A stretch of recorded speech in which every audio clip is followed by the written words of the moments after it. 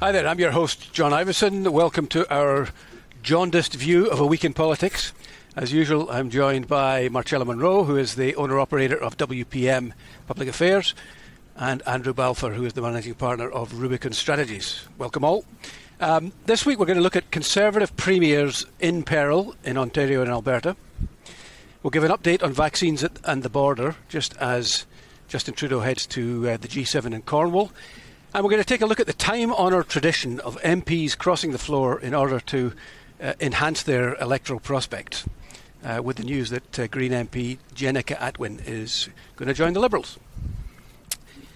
So each week we seem to take a pop at Doug Ford and Jason Kenney, but really it's because each week they oblige us by doing something stupid. and both of them this week, in my opinion, have done something pretty stupid. Um, let's start with uh, Doug Ford, who said he's going to use the notwithstanding clause to overturn a court decision he doesn't like. The first time that an Ontario Premier has used the nuclear option available to all premiers and prime ministers. Um, meanwhile, Kenney is affirming that he will uh, have a referendum on equalisation in the fall, even though it won't impact the Canadian Constitution or the equalisation programme one bit, regardless of the result.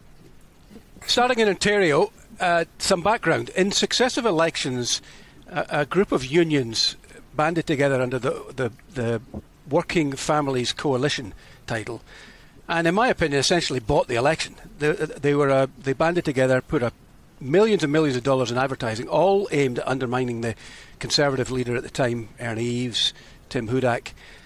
Um, third party advertising is not allowed federally. It was allowed provincially, but it was so egregious that, that even the Liberals decided to reform the Electoral Financing Act in 2017 and limit the amount that, that third parties could spend to $600,000 uh, within the six month period before the writ. Now, Doug Ford supported that, but he then introduced an amendment that extended the six month period to 12 months. That has now been overturned by a court in Ontario, which has said that is uh, an infringement on the Charter right to freedom of expression. And Ford has responded by saying he's going to use the notwithstanding clause to override the court. Um, that seems to me to be uh, not a great idea. Um, you know, obviously, Andrew, he had the the existing six month period in his back pocket. So why would he risk public opprobrium on extending it to 12 months and using the notwithstanding clause. It just seems to be using a sledgehammer to crack a walnut. Well, I think first that most Ontarians don't know what the notwithstanding clause is, probably don't particularly care too much about it, don't know what working families is. Um, but it's pretty obvious they did it so that working families and the big unions like Unifor can't go and run big campaigns against them with millions of dollars up until the writ the people that this upsets are not a Mr. Ford voter. We can have a discussion about if this was the right thing to do and whether it's appropriate, but the politics of it are pretty simple and straightforward. Marcella, we've seen the uh, the government in Quebec under Francois Legault use this Section 33 uh, notwithstanding clause on two occasions so far, Bill 21 and Bill 96, the, the official languages uh, provision that we talked about a couple of weeks ago. Do you think that we're seeing a growing trend of people using this this clause, which has been around, but uh, you know, Jean, Jean Chrétien, I think, when he introduced it, said it should only be used in absurd cases. Yeah, I mean, I think it's starting to be abused. Um, I think Quebec was the sort of um, early adapter to using the notwithstanding clause. Uh, and now we're seeing two very, in my view, desperate uh, conservative premiers um, I mean, in, in the House in Alberta, they also talked about using it.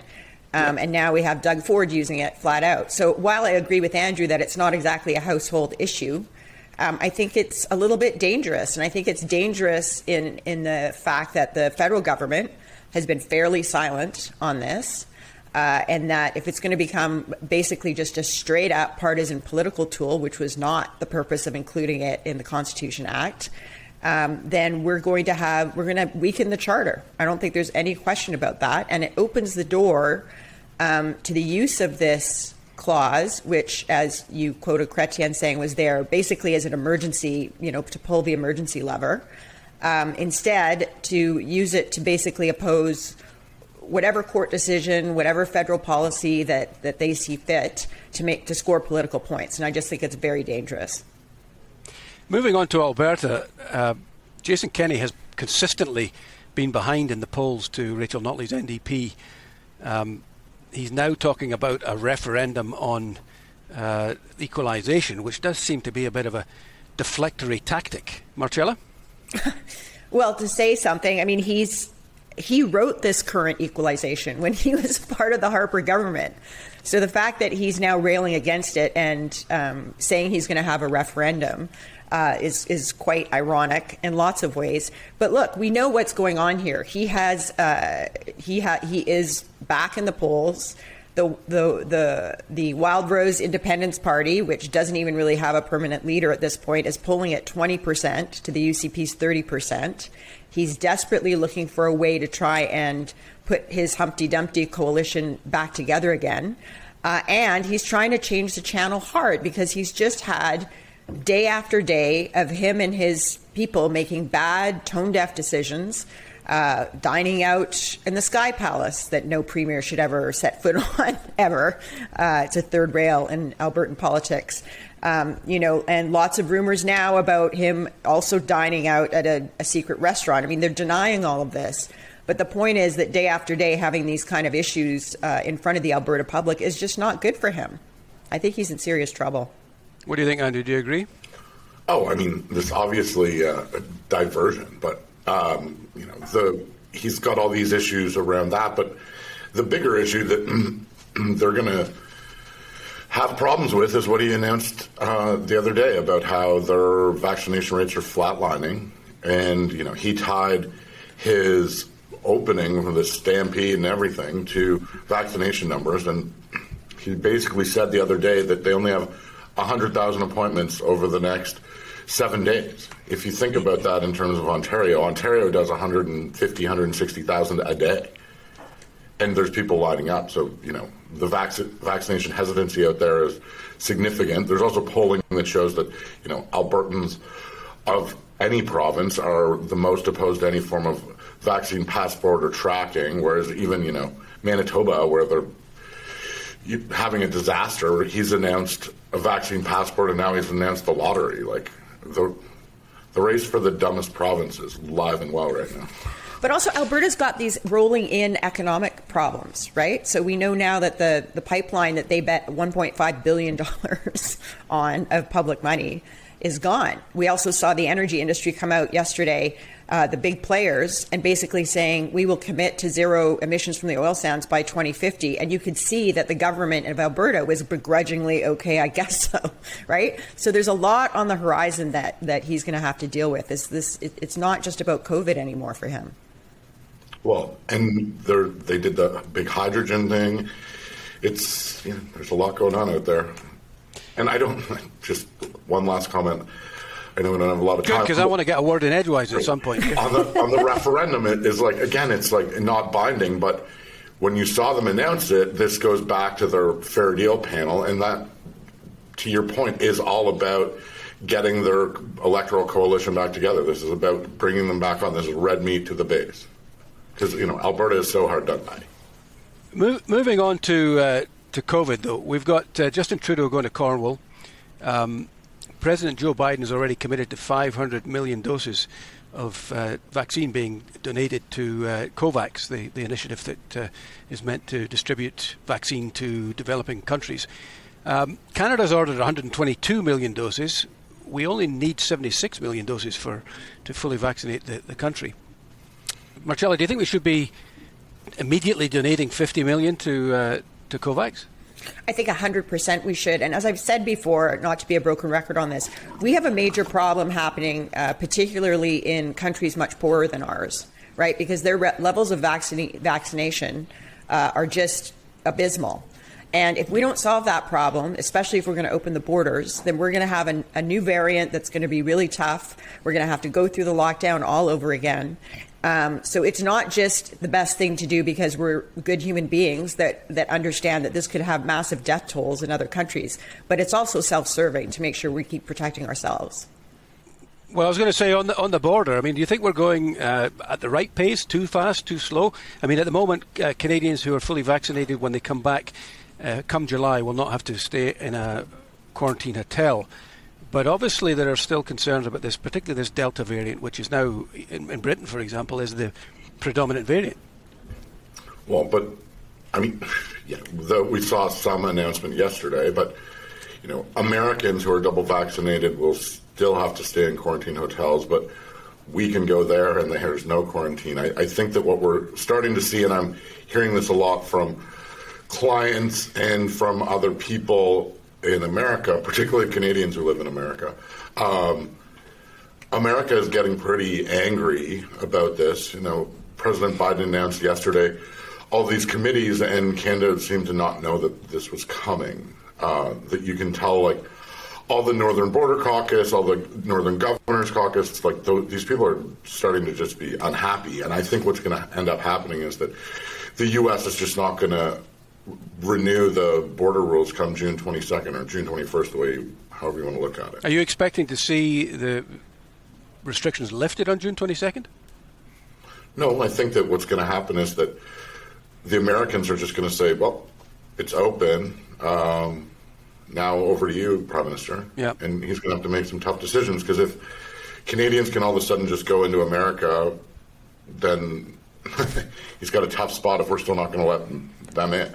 Especially with the tourism industry, right? Because our tourism industry is is praying that they can open up this summer. You could see it being lopsided for a month or so, though. Yes. Um, but I mean, just quick, one last quick thing on that is, you know, so let's say that July 1st comes, and what I'm making up July 1st as a date. I hop on a flight, I go down to visit friends in DC. I still haven't got my second shot. I got my second shot there. Well, if I come back right away, I'm still going to have to do a quarantine hotel. But if I wait and stay in America and spend my money in America for 14 days, then I can come back and not do a quarantine hotel. Uh, you know, I think that we should rather want Canadians spending their money in Canada, but, but that policy seems to be designed to do the opposite. All right, well, let's wrap up talking about uh, Jenica Atwin, who has uh, joined the Liberal Party from the Greens, um, leaves the Greens with two MPs in the House. Apparently sparked by infighting in the Green Party, um, now led by Annamie Paul. What are you hearing, Andrew? Well, yeah, I mean, it doesn't sound like a good time over there. They've had all these people resign. It's also, if you look at it for the Liberals, that the Greens took out a Liberal incumbent in that seat last time, and now the chances that this is a a hold are quite high. And if you're Justin Trudeau and you're trying to get to your majority number of 170, you know you need the holds, and so this is just one more. There's not a lot of growth in Atlantic Canada, so right, it's a good place to be. Uh, the Greens prior to the 2011, uh, 2019 election were, were polling north of 10%. A lot of people were open to voting Green. That doesn't seem to be the case at the moment. Uh, Marcella, what do you think? If, if people don't vote Green, where does that vote go? Well, first of all, high five to the PMO for leaking this right in the middle of the ethics committee report. That's that was a pretty nice little pure turn. coincidence. Yeah, total fluke. Beautiful. Uh, really well done. Um, look, uh, this is one thing I've always lectured my New Democrat friends about it. There's a there's a false there's a false assumption that if you can collapse the Green vote, that that vote automatically will go to the NDP. That's not true. We know that's not true from years of polling data. The Green vote is very specific. It's a highly educated vote. It's a vote of people who basically, regardless of what they might have thought of their political stripes, um, basically feel we're not doing enough on conservation and the environment.